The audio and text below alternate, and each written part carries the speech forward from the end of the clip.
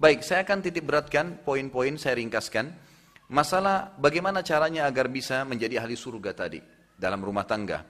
Yang pertama saudaraku, agar kita bisa menjadi penghuni surga pada saat kita berumah tangga, yang paling pertama mencari pasangan yang soleh dan soleha. Ini wasiat Nabi Shallallahu Alaihi Wasallam. Bangun dari awal asasnya itu. Wasiat Nabi SAW kepada semua laki-laki. Tungkahul mar'ali arba'ah limaliha wa hasabiha wa jamaliha wa diniha. Fadfar bidzati din taribat yadak. Wanita dinikahi karena empat hal hartanya keturunannya kecantikannya dan juga agamanya. Umumnya laki-laki menikahi perempuan karena salah satu dari empat poin ini. Lalu kata Nabi SAW dahulukan yang beragama hidupmu akan tenang. Maksudnya hidupmu akan tenang adalah tidak ada perselingkuhan tidak ada masalah dan seterusnya gitu kan? Dan nanti juga dia akan membawa ke surga. Kata Nabi SAW dunia mata wa khairu mata mar as salihah. Ya. Dunia ini perhiasan dan sebaiknya adalah wanita yang salihah. Jadi kita disuruh. Dalam hadis riwayat Bukhari yang lebih tegas lagi, ya, dikatakan wala amatun saudaun kharma zatud din khair. Bagi laki-laki dianjurkan menikah dengan seorang wanita budak berkulit hitam dan kharma. Kharma itu nggak ada pemisah hidungnya. Jadi lubang hidungnya satu, bayangkan jeleknya itu. Sudah budak, hitam, kharma. Tapi kata Nabi apa? Zatuddin, beragama, khair, lebih baik. Karena memang itu simbolik secara duniawi. Ingat kita akan pindah ke akhirat. Di sana sudah banyak macam-macam janjinya, gitu kan? Jadi ini cuma melewati kehidupan dunia. Di situ perintahnya. Kalau untuk perempuan apa kata Nabi SAW dan anda juga laki-laki sebagai walinya perempuan jangan tahan anak perempuan, jangan tahan saudari perempuan, nikahkan harus ijazah, harus sarjana, harus begini, harus begitu. Ini semua nggak dibawa, nggak ditanya oleh malaikat ijazahnya dokter atau bukan gitu. Yang ditanya itu dia sudah melakukan perintah agama atau tidak. Kata Nabi SAW kepada wanita, setiap wanita dan setiap walinya, ayahnya, "Idza ja'akum man tardawna dinahu wa khuluquhu fazawwiju illam taf'alu takum fitnatun fil ardi wa fasadun kabir." Kalau telah datang kepada kalian wahai kaum wanita dan walinya, perempuan, laki-laki yang kalian ridhoi bukan kekayaan, bukan ketampanan, agama dan akhlaknya. Terima lamarannya, nikahkan dia. Kalau tidak terjadi kerusakan di muka bumi, gitu kan? Begitu. Berapa banyak sahabat yang datang kepada Nabi Shallallahu Alaihi Wasallam, lalu kemudian mereka meminta agar Nabi SAW berikan tunjukkan jodoh. Mereka minta ada dua laki-laki yang ganteng ditunjuk ini ya Rasulullah ini ya Rasulullah. Nabi SAW tunjuk Usama bin Zaid. Usama bin Zaid ini anak budaknya Nabi SAW berkulit hitam. Tapi Nabi SAW mengatakan Usama lebih baik kalau kau ingin mengikuti saran saya. Jadi di sini agama, pondasi pertama agama. Teman-teman sekalian tolong difahami. Kita sebagai orang tua kalau sudah punya anak, kalau belum menikah teman-teman yang bujang atau yang gadis juga pegangi masalah ini. Yang itu. Di sini memilih pasangan yang baik dan soleh ini akan menghilangkan banyak sekali PR rumah tangga. Contoh begini, kalau ada yang bertanya kepada saya, Ustadz saya sudah 10 tahun menikah, istri saya nggak mau pakai jilbab. Istri saya nggak mau baik sama saya, nggak mau patuh. Sampai tadi malam, saya kaget ada ikhwah yang datang curhat dengan saya di Jakarta. Ustadz, afwan saya ada masalah Ustadz. Kenapa akhi? Saya baru cerai dengan istri. Kenapa kok langsung cerai ini ada apa? Kebetulan saya lagi mau pulang ke rumah, baiklah kita ketemu di tengah jalan, ada restoran mampir. Terus dia ngomong sama saya, yang dia ceritain terus terang nggak masuk di otak saya itu. Kok bisa ada wanita seperti ini gitu? Semoga Allah berikan hidayah. Dia bilang, ini istri saya suka mengajak saya berantem, jadi diajak pakai pukul-pukulan, berantem, banting barang, tanpa sebab. Kenapa sebabnya akhi? Ente sportif bilang sama anak. Dia bilang iya. Saya sebenarnya kadang-kadang kalau mau keluar, gitu, mau keluar rumah, kalau dia curiga sesuatu pasti dia langsung tahan rumah. Saya dipahan, tidak boleh keluar. Saya mau keluar nggak mau akhirnya jorong-dorongan, akhirnya berantem. Ini rumah tangga atau ajang gulat gitu. Lah iya, untuk apa berumah tangga kalau mau jor-joran, mau pukul-pukulan? Orang berumah tangga itu mau cari ketenangan, ketentraman. Dan kata kuncinya agama. Agama, jangan tidak. Ada orang bilang saya 10 tahun nikah Ustaz, ya, tidak istri saya tidak mau pakai jilbab, nggak mau patuh dengan saya, nggak mau melayanin saya, keras kepala. Ada juga ibu-ibu pernah bilang, Ustaz saya sudah 10 tahun menikah, suami saya nggak sholat, tiap hari selingkuh. Dan beragam macam masalah. Terus saya tanya, Bapak Ibu sekalian sebelum saya jawab, saya mau tanya, jujur dijawab ya. Sebelum Anda menikah, tahu nggak kalau pasangannya begitu? Ini ibu-ibu ini yang suaminya suka playboy ini, sudah tahu belum sebelum nikah begitu? Subhanallah, kalau kita niat mau nikah, Allah kayak bongkar tuh. Ada sesuatu yang Allah tunjukkan tentang dia. Kalau Anda istikharah, ada saja informasi yang sampai secara tidak kita sengaja dengan caranya Allah berputar sampai ke kita. Ternyata memang dia dasarnya sudah playboy, dia suka bohong. Tapi si ibu ini, si ukti ini karena terlalu suka, karena ganteng lah, karena apalah, simbolik dunia, gitu kan, kemasan dunia ini, maka dia nggak apa-apa paksain diri. Maka jangan heran kalau terjadi perselingkuhan lagi setelah itu. Ya kan gitu. Tapi kalau orang dasarnya setiap azan ke masjid, sholat, ikut pengajian, ahli ibadah, penuh masjid, Masya Allah ada anak, -anak muda yang baik-baik. Bukan itu diprioritaskan, kenapa? Gitu. Mereka akan menuntun, gitu kan? Mestinya begitu. Sama halnya juga dengan laki-laki. Kadang-kadang cuma fisikal saja yang diprioritaskan. Bukan itu tidak salah. Tetapi kita harus pertemukan dengan masalah agamanya. Ini poin penting. Jadi cara untuk menjadi ahli surga yang pertama dalam rumah tangga mencari pasangan yang soleh dan soleha. Kemudian juga yang kedua adalah harusnya dibentuk di dalam rumah tangga itu ya, ilmu pengetahuan tentang surga dan neraka. Majelis ilmu lah pokoknya. Coba ajak pasangan kita terbiasa untuk hadir di majelis ilmu. Kalau suami lagi ikhwah lagi ke masjid musola ada pengajian seperti ini diajak istrinya. Istri agar pengajian saling bertukar informasi dengan suaminya. Coba begitu. Hidupkan. Karena begini tanggahnya.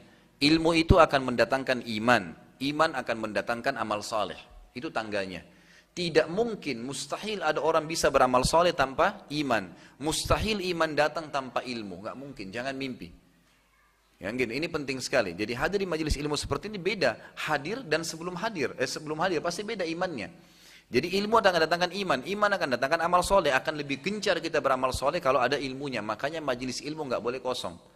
Mohon maaf, saya bahasakan saya pribadi ikhwas. Ini bukan riak, nggak ada hubungan dengan riak. Tapi saya biasa mujahadah diri sendiri. Saya kalau tidak dengar ceramah, walaupun ceramah saya sendiri dalam sehari, saya merasa iman saya drop. Drop iman saya. Padahal kadang-kadang di Jakarta ikhwah, saya punya, dan akhwat sekalian, saya punya ceramah sampai empat kali. Kadang-kadang saya keluar pagi ada kuliah duha. Sambung lagi siangnya, sambung lagi maghribnya, sambung lagi, eh, sambung lagi eh, asarnya, sambung lagi isyaknya, gitu kan? Sampai empat kali, dua-dua jam semua minimal, berarti 8 jam. Perjalanan dari Jakarta dari satu punya itu satu jam, berarti sudah habis ini sekitar 12 jam, setengah umur saya habis di jalanan dengan itu. Apa yang saya lakukan? Kalau saya duduk pengajian begini, saya sampaikan. Ini sebenarnya manfaatnya lebih besar bagi saya. Pada saat saya review, saya menyampaikan begini, saya sedang review iman saya sendiri. Sambil memberikan manfaat kepada teman-teman sekalian gitu kan. Jedah yang saya duduk di mobil, itu saya gunakan lagi untuk dengar ceramah, dengar tilawah. Tidak ada tidak ada peluang untuk masuk celah di situ kemaksiatan. Dan itu saya rasakan seperti kita lagi tercas terus ya, terjaga terus. Pulang ke rumah tinggal istirahat. Saya pulang ke rumah pun istri saya ngomong masalah agama. Saya tanya bagaimana anak-anak, bagaimana begini tadi sholatnya terjaga nggak, ada tamu yang datang nggak, semua positif. Ada masalah apa saya pecahin sama dia kemudian istirahat. Bangun sholat sama-sama saya bangunin. Saya berusaha pokoknya menjalankan agama. Dan itu sebenarnya tinggal dijaga saja, komitmen. Dan itu bisa dengan ilmu. Ada banyak Alhamdulillah di Jakarta pengajian saya mereka berubah. Saya bilang Bapak Ibu sekalian, ada hal-hal mendasar yang tidak bisa kita pertemukan Begini, pahala itu, amal soleh punya kenikmatan. Dosa itu juga punya kenikmatan. Tapi dua kenikmatan ini tidak bisa disatukan. Kalau antum pelimplang, sebentar berpahala, sebentar buat dosa, maka ini tidak jelas statusnya. Tidak pernah merasakan kehusuan sholat, tidak pernah merasakan nikmatnya ibadah, juga kemaksiatannya setengah-setengah. Gitu. Ini memang begitu, tidak bisa disatukan. Kenikmatan ibadah ada, dan kenikmatan dosa ada. Contoh, antum sudah biasa menjaga sholat begitu azan langsung sholat. Dan kita sudah coba komitmen untuk itu. Dan ingat ibadah harus tanda kutip dipaksakan manjah manjadda wajad. Siapa yang berusaha dia akan dapat. Gitu kan? Walladzina jahadu fina lanahdiyannahum subulana kata Allah. Yang berusaha memaksakan dirinya mau beribadah ke jalan kami kami akan tunjukkan jalan-jalan kami. Kalau bapak ibu dan ikhwas kalian tidak jadwalin sholat malam tidak bakal pernah sholat malam selamanya. Kalau tidak jadwalin baca Quran cuma dipajang di lemari tidak akan pernah baca Quran. Gitu kan? Paksain harus berdiri lawan. Mujahadat nafs namanya. Harus begitu Nah nanti kita kalau paksain ibadah, kita akan rasakan kenikmatan ibadah itu. Kalau kenikmatan ibadah sudah muncul, nanti kenikmatan dosa hilang. Dan ini puncaknya ya. Misal kita sudah biasa so, azan langsung sholat. Komitmen, jaga sebulan misalnya atau seminggu. Nanti kenikmatan maksiat meninggalkan sholat sudah hilang. Sedikit kita ketinggalan satu rakaat saja, kita sudah merasa kehilangan sekali. Karena kenikmatan dosanya sudah hilang. Beda dengan orang yang sudah terbiasa meninggalkan sholat, dia rasakan nikmat. Maka hilang nikmat ibadahnya. gitu kan? Nikmat ibadah. Jadi tidak bisa bersatu ini. Sementara dua-dua punya kenikmatan. Maka nikmatilah kenikmatan ibadah itu, jangan kenikmatan maksiat. Saya bilang di Jakarta, coba jangan pernah mempertemukan antara Quran sama musik. Tidak bisa ketemu. Nggak bisa ketemu. Percaya lisan saya, teman-teman sekalian, kalau masih antum dengar musik, tidak akan pernah bisa masuk Quran dalam hati. Mustahil udah. Ini dua benda yang berbentrok, nggak bisa. Saya tuntun jemaah saya di Jakarta, coba Bapak Ibu sekalian praktekin seminggu saja. Habis dari pengajian nih terasa iman, baik dua jam dengar ceramah. Setelah itu naik mobil, putar lagi ceramah. Syaitan akan pakai seribu satu cara, bisikin. Sekali kan tadi kan sudah pengajian, sekarang hiburan dong. Padahal Allah sudah mengatakan apa? Ya, zikir kan? Ala bidzikrillah tatmainnul qulub, bukankah dengan zikir hati itu tenang? Sebenarnya kenikmatan tadi kita hadir di pengajian merasa keimanan, itu harus dijaga. Naik di mobil, putar lagi ceramah. Syaitan bisikin apa pun, tolak. Syaitan itu gampang, lemah, ditolak saja. Jangan diikutin, gitu kan? Sudah selesai urusannya.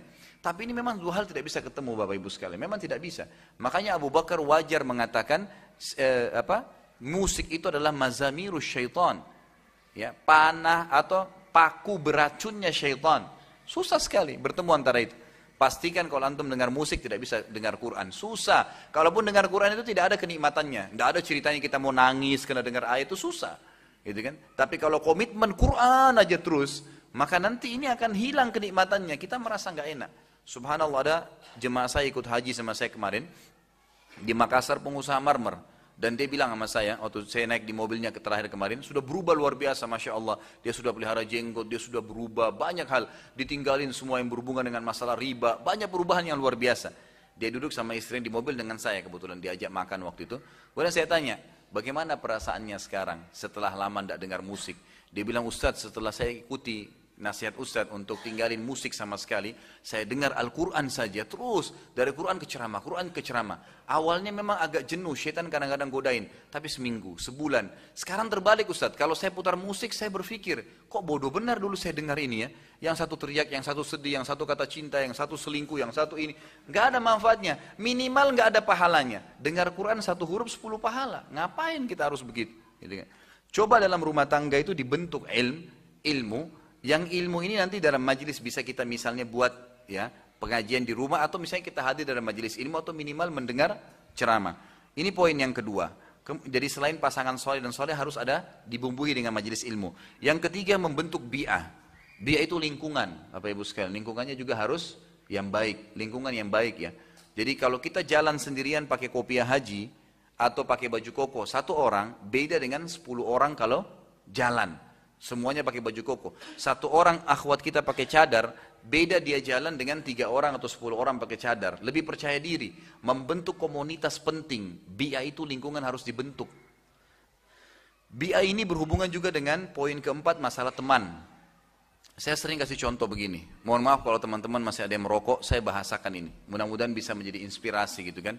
Sebenarnya itu kan masalah sugesti saja, masalah sugesti. Ada teman-teman di Jakarta banyak tinggalkan rokok gara-gara saya bahasakan ini. Kalau saya tanya teman-teman yang masih merokok, kenapa anda merokok? Jawabannya selalu, kalau saya tidak merokok, tidak bisa berpikir. Kalau saya tidak merokok, saya tidak percaya diri. Jadi sebenarnya dia sedang menggantung kepercayaan dirinya di satu batang rokok itu. Ini kan pemahaman yang keliru, gitu kan? Semestinya dia ganti itu. Maksudnya sugestinya ke hal-hal yang positif, jangan ke situ, gitu kan? Jangan ke situ. Sekarang kalau saya tidak merokok teman-teman sekalian, saya berteman dengan 10 orang perokok. Kira-kira apa yang terjadi? Saya nggak mau merokok, saya nggak merokok sama sekali. Tapi teman saya ini semua baik-baik kok, cuma merokok semua. Kira-kira seperti apa kejadiannya? Hari pertama, hari kedua minimal saya tercium bau asap rokoknya. Seminggu kemudian mereka akan bilang apa? Coba aja sebatang yang penting tahu rasanya. Sebulan sudah terbiasa merokok. Setahun buka kios rokok. Gitu kan. Kalau saya tidak bisa baca Quran, huruf hijaiyah pun saya nggak tahu. Bodoh sekali Al-Quran. Tapi teman saya 10 penghafal Quran. Kita balik kasusnya. Hari pertama, hari kedua malu. Seminggu sudah belajar huruf ya iya. Sebulan bisa ngaji. Setahun hafal Quran. Gitu kan. Bentuk komunitas itu penting. Boleh bergaul, supel sama siapa pun, tapi teman dekat orang baik semua. Orang yang berprestasi. Nggak boleh sembarangan. Ini penting. Kata Nabi SAW, Al-mar'u ala dini khalili. Seseorang sesuai dengan agama temannya. Jadi harus kita tahu, kita bentuk masalah itu. Insya Allah dengan kita bentuk ini, dengan izin Allah subhanahu wa ta'ala, kita akan terbentuk menjadi penghuni surga. Tinggal tunggu mati datang, selesai.